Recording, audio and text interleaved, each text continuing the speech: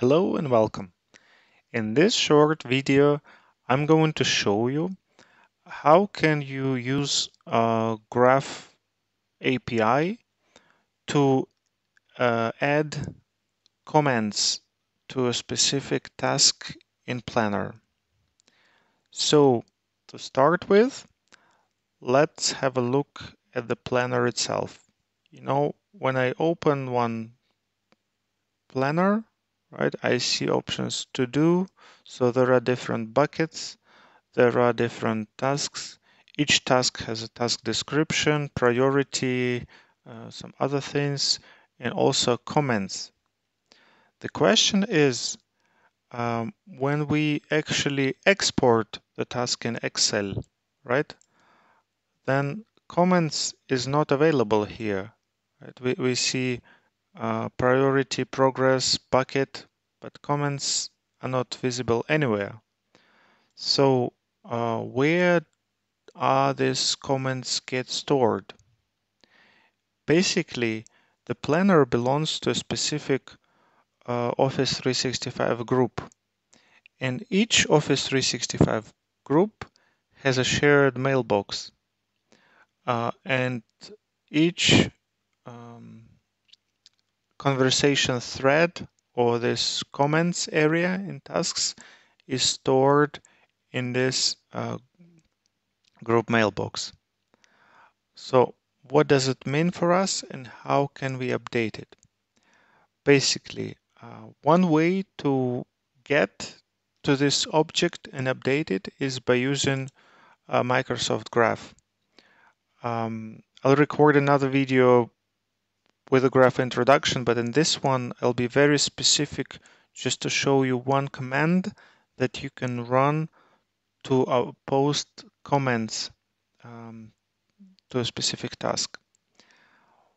Basically, this is a post command that I'm using here, and um, I have a specific query, right? This query has some information in it and this information, you know, as you see here, it ends with reply. Then there is a specific thread ID, right? Thread ID. And then before that, there is a group ID and some, some other Graph API groups. And then there is a body for this response right? And uh, when I run the query, let, let us do this task. I run the query. I get the status OK. Then when I go back to my planner and check the task, this is my test task that I'm updating. I see here testing post from Graph API. So actually, uh, that the post is done here.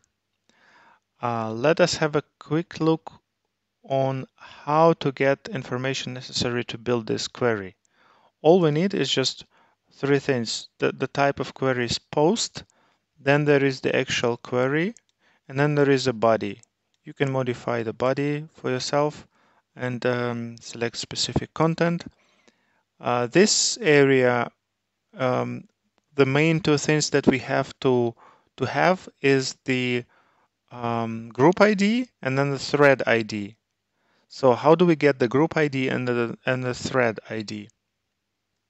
To get the group ID, the easiest way to do it, probably the fastest, if you if I look on the planner, right, right in the URL, there is this group ID. It's right here. You can copy it from here. Um, and also to get the thread ID that you want to update. One way to do it is to go to sample queries, right? And uh, then select a planner plan. If, if this query is not available, you just click show, show more samples and then uh, select make sure that groups and planner are selected. So if I get this planner plan, um, well, actually, we do not need to get the planner plan. It just gives us the planner. But what we need to get is the group um, thread conversations.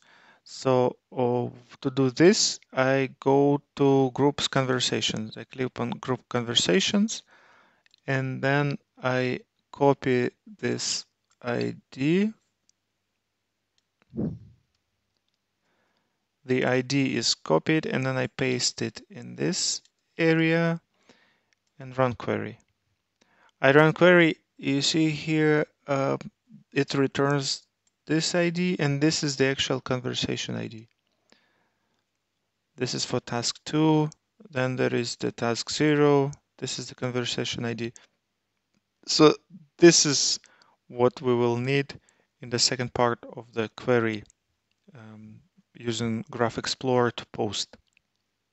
When you get this information, then you're good to go.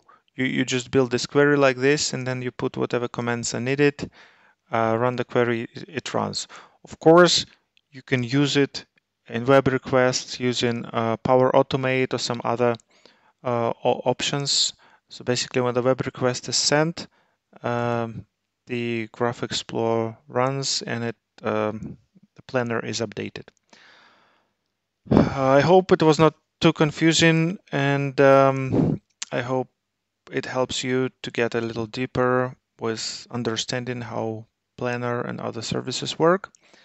Uh, have a wonderful day and stay healthy. Bye bye.